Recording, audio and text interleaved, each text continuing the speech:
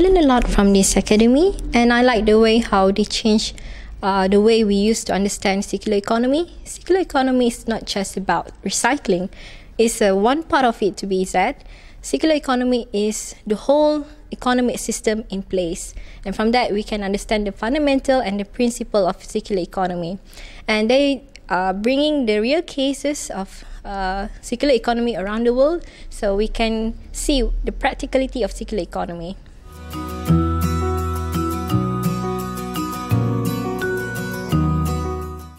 Think construction industry in Malaysia have a lot of potential to adopt circular economy into the field because we have a very conducive environment for that to happen. First, because we have a well-established government board to supervise all the construction industry, construction activity inside Malaysia.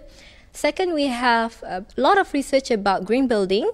For example, the waste material that can be reinforced into concrete and third, we have businesses from multi-billion company to small and medium enterprise working on IBS or industrialized building system in which all the building component is made in a controlled environment inside factory to reduce waste and increase energy efficiency.